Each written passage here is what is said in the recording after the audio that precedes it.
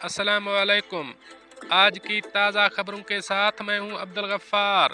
सबसे पहले आपसे एक रिक्वेस्ट करूँगा, अगर आप हमारे चैनल पर नए हो तो प्लीज़ हमारे चैनल को सब्सक्राइब कर दें।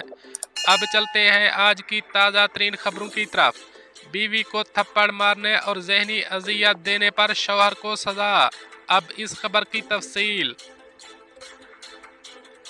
मुतहदा अरब अमारात रासुल खैमा में सिविल कोर्ट ने बीवी को थप्पड़ मारने, सर के बाल खींचने और जहनी अजियत देने पर शौहर को कैद और हरजाने की सज़ा सुनाई गई है। अल अमारात अलयोम के मुताबिक सिविल कोर्ट ने अपने फैसले में कहा है कि शौहर ने अपनी खलीजी बीवी को जिस्मानी अजियत देने के साथ स्नैपचैट पर नाजेबा जबान इस्तेमाल की है। अदालत ने जिस्मानी और जहनी अजियत देने पर शवहर को दो माह कैद, नौ हज़ार दिरहम जुर्माने और इलेक्ट्रॉनिक निगरानी सिस्टम की पाबंदी लगाई है। फैसले पर अमल दरामद के दौरान रासुल खैमा से बाहर जाने पर पाबंदी होगी। Ras al Khaimah civil court के प्राइमरी फैसले के खिलाफ अपील कोर्ट से रुजू किए जाने पर जुर्माने की रकम नौ हज़ार से कम करके पाँच हज़ार दिरहम कर दी गई है। ताहम दीगर सजाएँ बरकरार रहेगी। अपील कोर्ट के इस फैसले को अब कहीं चैलेंज नहीं किया जा सकता। अब चलते हैं हमारी अगली खबर की तरफ़। अमारात में रमज़ान के दौरान मसाजिद में ख़वातीन के मुसल्ले बहाल होंगे। अब इस खबर की तफसील। मुतहदा अरब अमारात में रमज़ान के दौरान मसाजिद में नमाज़ के हवाले से नए जवाब का ऐलान किया गया है। अल अमारात अलयोम के मुताबिक अमाराती हुक्म ने कहा है कि इस साल रमज़ान में ख़वातीन को भी वबा से कबल की तरह मसाजिद में नमाज़ पढ़ने की इजाज़त होगी। ख़वातीन के मसल बहाल हो जाएँगे।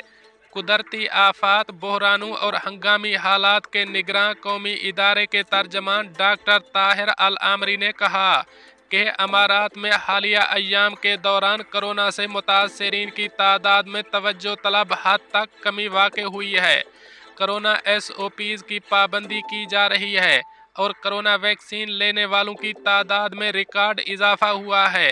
डॉक्टर ताहिर अल आमरी ने कहा कि गुजशत तीन बरसों के दौरान अमारात ने कोरोना वबा पर कंट्रोल के लिए तमाम तर इकदाम वबा से मुतासरीन के इलाज और वबा को फैलने से रोकने के लिए मौसर इकदाम का एहतमाम किया।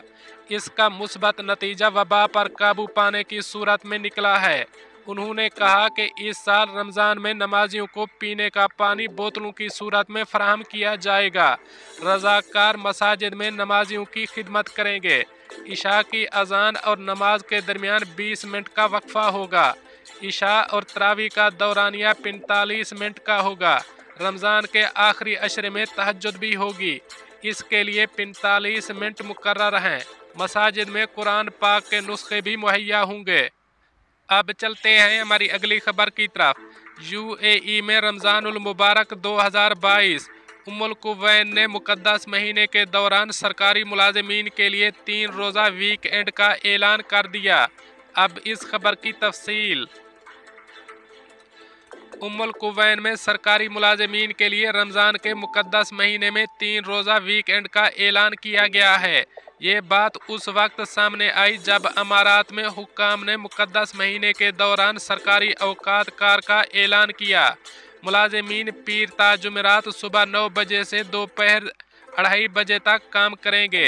अमारात में सरकारी मुलाजमीन के लिए रमज़ान के दौरान जुम्मा, हफ़्ता और इतवार वीकेंड के तौर पर होंगे। दफ्तरी अवकात कार और तीन दिन का weekend Sheikh Saud bin Rashid, supreme council के रुकन और उमुल कुवैन के हुक्मरान की तरफ़ से जारी करदा हिदायत के मुताबिक हैं। उमुल कुवैन बाकी अमारात के साथ 2022 के आगाज़ से एक मुख्तर वर्क वीक एंड में तब्दील हो गई थी।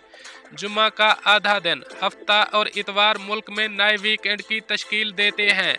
शारजा ने तीन दिन का वीक एंड अपनाया था। हुक्म ने इससे कबल रमज़ान के दौरान मुल्क में सरकारी और निजी शोबों के लिए काम के अवकात का ऐलान किया था।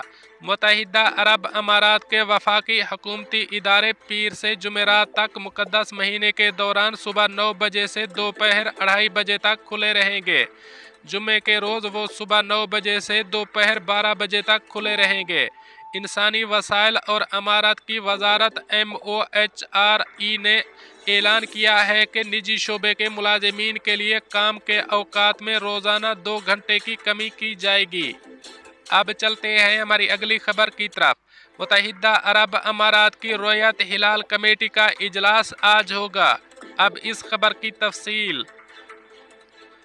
मुतहदा अरब अमारात की चाँद देखने वाली कमेटी का इजलास जुमा यकुम अप्रैल को नमाज़ मगरब के बाद अबू जैबी जोडिशल डिपार्टमेंट में होगा।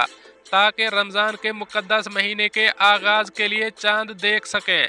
ये कमेटी वज़ीर इंसाफ अब्दुल्ला सुल्तान बिन अवाद अल नईमी की सदारत में एक इजलास मुनद करेगी, जिसमें मुतद आला हुक्म भी शरीक होंगे। मुल्क भर की शरी अदालतें कमेटी के फैसले की तायद पैरवी करेंगी और किसी भी जगह चाँद नज़र आने पर कमेटी को आगाह करेंगी। जबकि अबूजैबी के जोडिशल डिपार्टमेंट में कमरी कैलेंडर कमेटी शवाहद जमा करने और चाँद देखने वाली कमेटी को नतज से आगाह करती रहेगी। अब चलते हैं हमारी अगली खबर की तरफ़। कोत पुलिस भिकारियों के खिलाफ मुतहरक सख्त मुहिम जारी। अब इस खबर की तफसील। कुवैत की वजारत, दाखिला में सिक्योरिटी मीडिया की जनरल एडमिनिस्ट्रेशन ने भीख मांगने के रुझान को ख़त्म करने के लिए अपनी मुस्तकिल और मुसलसल ख्वाहिश का अदा किया। क्योंकि ये माशरे में मनफी और नापसंदीदा रुझान में से एक है। ये नोट करते हुए कि इंतज़ामिया ने रमज़ान के मुकदस महीने के दौरान इस रुझान का मुकाबला करने के लिए तमाम ज़रूरी इकदाम किए हैं।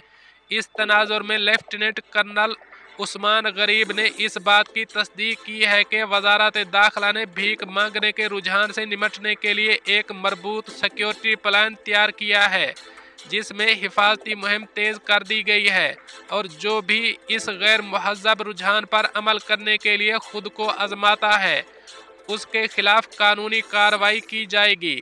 इस बात की निशानदही करते हुए कि गिरफ़्तार अफराद और उनके सरप्रस्तों के खिलाफ कार्रवाई की जाएगी और तमाम ज़रूरी इकदाम किए जाएँगे।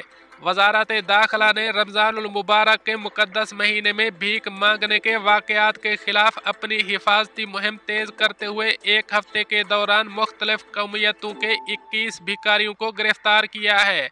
मुतद भिकारियों को गिरफ़्तार किया गया था और ये मुहिम जारी रहेगी। एम ओ आई ने कोती बाशिंदों और गैर मुल्कियों से 112 पर कॉल करने और कोत को एक बेहतर जगह बनाने के लिए भीख मांगने के मामला की रिपोर्ट करने की अपील की है। दोस्तों, ये थी कुछ आज की ताज़ा तरीन अपडेट्स जो मैंने आपके साथ शेयर की। मिलते हैं अगली खबरों के लिए, तब तक मुझे दीजिए इजाज़त। अल्लाह हाफिज़ नासर।